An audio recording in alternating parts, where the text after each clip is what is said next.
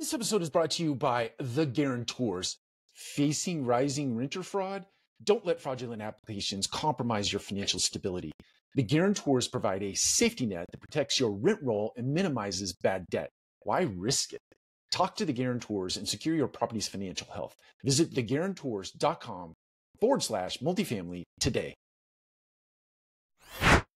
To another episode of the Multifamily Collective. I am in sunny, well, it's cloudy San Diego and uh, speaking at the Future Conference tomorrow. But on the ride out, I was listening to an audiobook called Gigatrends by Thomas, can't pronounce his last name, and Nathaniel Palmer.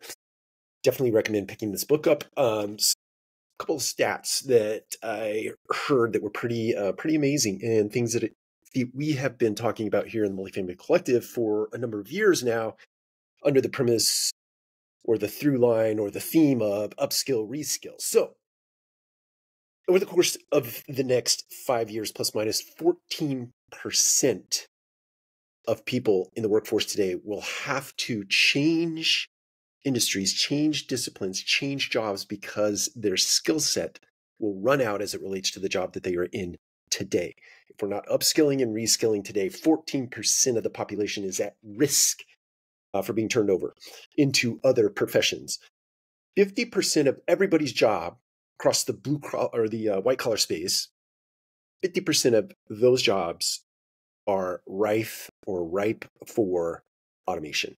And much of that automation is happening right now, but 50% of every job will be automated. And 77% of CEOs are fearful that their current workforce doesn't have the skills necessary to operate in a digital workforce world. Digital workforce meaning working with AI co pilots in your job. They don't have the skill set, the human doesn't have the skill set necessary to work with a digital worker.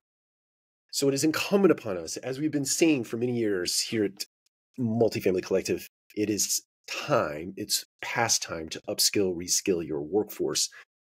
Even in the multifamily space, leasing consultants, you still have assistant managers, you still have property managers, our entire workforce from property level up, especially in the corporate world, need to be upskilled and reskilled. And the real skill you need to go after, I think, right now is helping the human understand how to prompt a digital worker for information and how to use that information to make informed decisions, especially as it relates to innovation and strategy and creativity and things of that nature.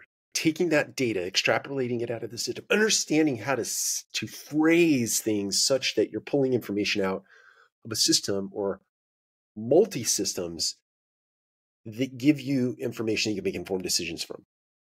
Startling. 14 77. Remember those numbers because it's real, it's here, it's today. Here at the Future Conference, uh, speaking for AppFolio tomorrow, we're going to be talking about some of this stuff.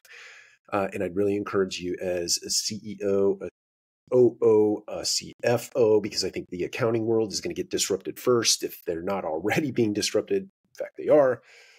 Uh, but it's time. It's time to get really super serious. In 2025, you need to upskill, reskill your workforce and help them understand how to work with the digital worker. Take care. We'll talk to you again soon. Bye.